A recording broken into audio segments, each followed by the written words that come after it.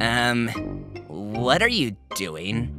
I'm making Halloween costumes for my frog hoard. This one's a wizard. This one is a pirate with a kidnapped princess.